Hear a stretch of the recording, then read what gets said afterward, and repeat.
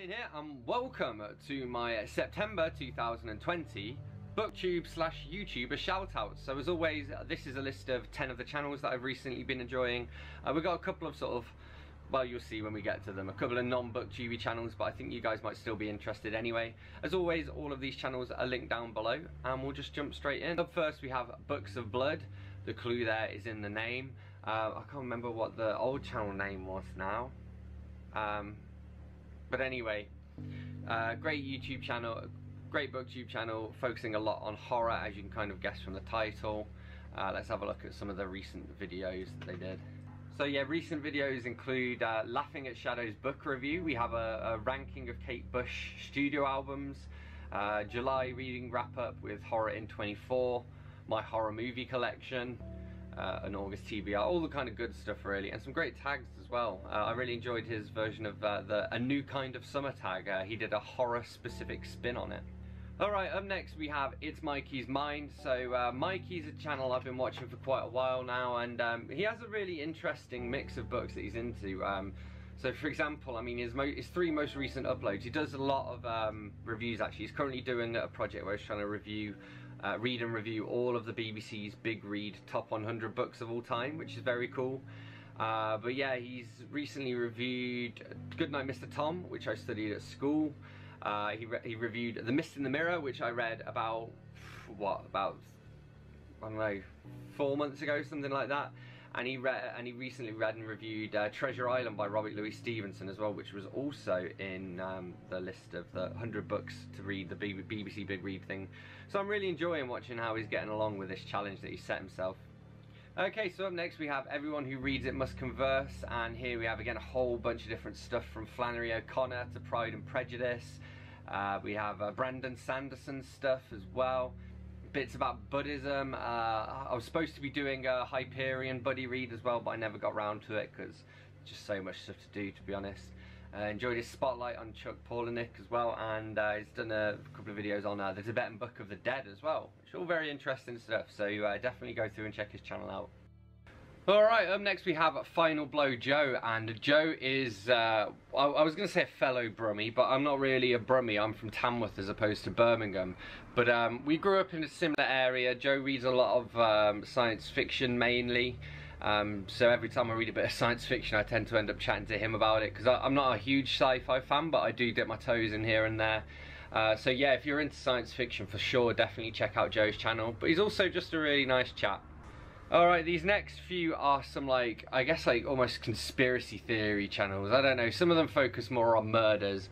So we have Night Docs. Uh, so Night Docs is more, yeah, like, I don't know, conspiracy theory stuff. He's kind of like an investigative journalist, so, um, but to be fair to him, he is kind of a skeptic as well. So I watched one of his videos, um, there was this rumor about this like mysterious room at, at, at this hotel and um, like people had been like shown into it and then immediately moved out and all of this weird stuff and he managed to book himself a stay in that room.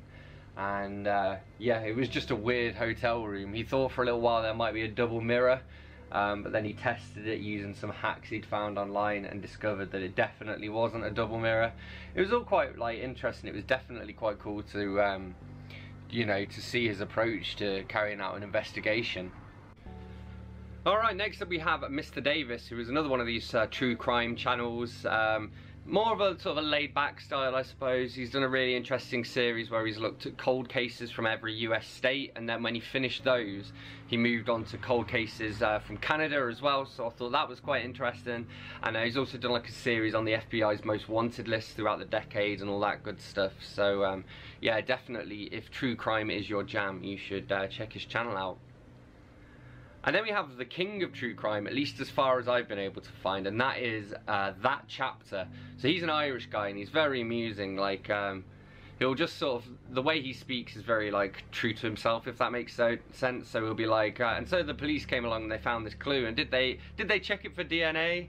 Did they bollocks? They, they said, ah, feck it, and moved on to the next thing, and just very sort of yeah, quite a British sense of humour, but he covers all sorts of international cases. I mean, he's done some um, French ones I've noticed as well. Um, yeah, just probably the best of all the channels because he really thoroughly does his research. Uh, these Some of these have also got like paranormal stuff as well, but to be fair, because these are like true crime predominant, they um, when they do look at paranormal stuff, they generally sort of debunk it really, or at least they you know, they tend to go in with like a fairly open mind, but they'll normally come out and say, you know, I didn't experience anything, um, which, you know, makes sense to me. Okay, up next we have Madeleine Swann. Madeleine is an interesting booktuber um, because she does a lot of like societal commentary and talks about various different issues and whatnot. And she actually gets, I wouldn't say trolled, but she gets a lot of people who disagree with her coming onto her videos, and um, you know she gets a lot of dislikes for things um, which I think are unfounded. It's, we won't dwell on the negative. The cool stuff is she's a Bizarro author, so I've actually read her book, and um, she does a lot of like really cool videos as well, where she'll like dig in and look at, say, the creepiest videos that people have suggested and stuff like that. So um, yeah, definitely one I would recommend. Then we have Beth Chats Books. So um, Beth has been around for a while, although she's had a hiatus here and there and whatnot. She's a fellow British booktuber.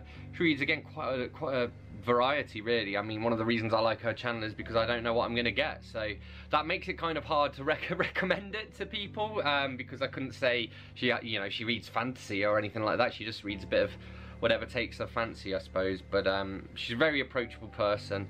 And uh, yeah I always enjoy her videos. And so I've been glad to see that she's been uploading again recently. And speaking of people who are uploading again recently, we have Steve Partridge. Um, I love his channel just, again, he's quite a chill, sort of laid back, uh, softly spoken guy. He uh, reads quite a lot of non-fiction and self-improvement stuff as well, which is quite cool because it's not necessarily covered that much. But he does read a lot of fiction as well. Like I think it was, was it Brandon Sanderson he was reading recently, one of those fantasy epics anyway. Um, but yeah, it also it's cool because he lives in Berlin, and I really like Berlin. Uh, I had a lot of fun when I went to visit it, so. Um, yeah, I don't know, it's just cool to see him as like a, an expat uh, living in, in Berlin. And overall, yeah, just a cracking channel with um, a lot of great stuff to read and uh, recommend from him. So there we have it. Those are 10 booktube channels that I would recommend to you for the month of September. As always, don't forget to let me know in the comments which channels you're watching uh, so I can check those out. Hit that like button if you've enjoyed this video and if you found it useful. You can find the links to all of these channels in the description box below, so feel free to subscribe to any of those that take your fancy and also to subscribe to me if you would like. Uh, and I will see you soon for another bookish video. Thanks a lot. Bye-bye.